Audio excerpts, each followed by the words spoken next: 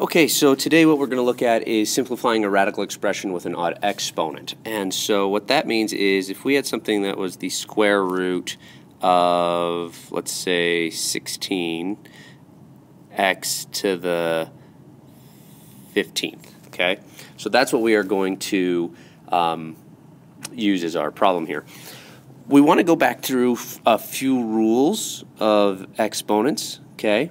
Uh, particularly exponents that deal with square roots. So if I look here um, at the square root of x, I know that that is actually x to the 1 half.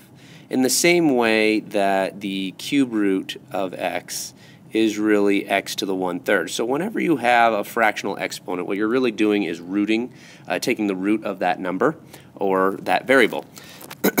so that is one idea that we're going to need to hold on to. Um, Additionally, we need to remember that if we have an a times a b and it's to some exponent of m, then that is really a to the m times b to the m. So the exponent will actually distribute itself through the other ex the two other exponents inside the parentheses. Okay, so these are the two rules that we're actually going to use for this uh, problem. So let's go back to it. First off, what I can see here is that here's 16 and here's A, and so these coincide.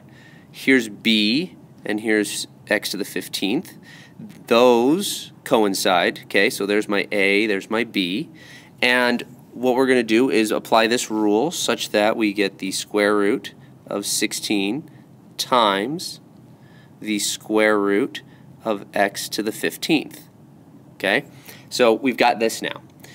At this point, what we want to do is we actually want to look at this rule here. Particularly, let me actually circle this one, particularly this, where we have the square root, which really means this is to the 1 half power. Okay, so this is really 16 to the 1 half times x to the 15th also to the 1 half. what we're going to do at this point is we've got to start breaking this apart uh, and creating a situation that allows us to eliminate as much of the exponents as possible.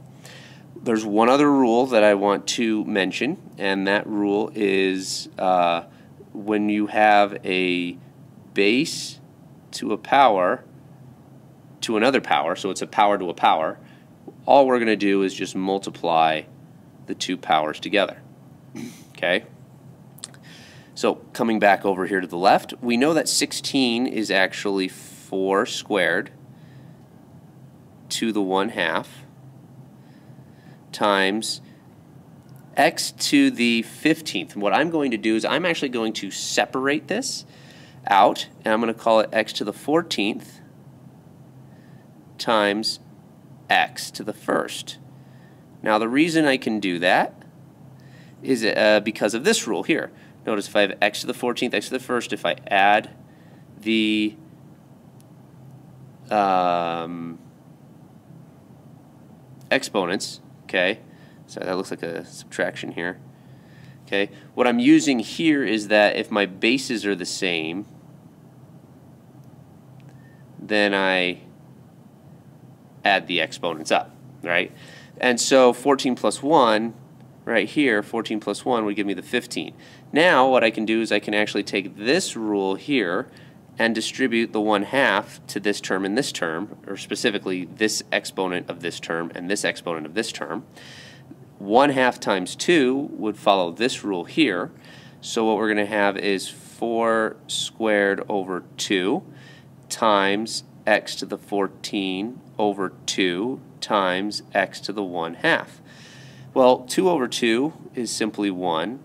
14 over 2 is 7. So what I'm going to get now is 4x to the 7th times x to the 1 half.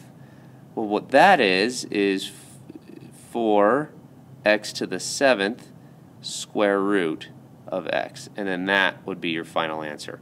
So again, notice, it's about rule usage, okay? the different rules that you can use to get this all um, figured out. Notice we used rule 1 right here. We used rule 2 right here and again right here. Okay, so here's rule 2 and here's rule 2. That was rule 1. Rule 3 we used on this step and we also used rule 4 right here. Okay, so you can see that these rules I just keep reapplying to make sure that this sequence um, goes effectively.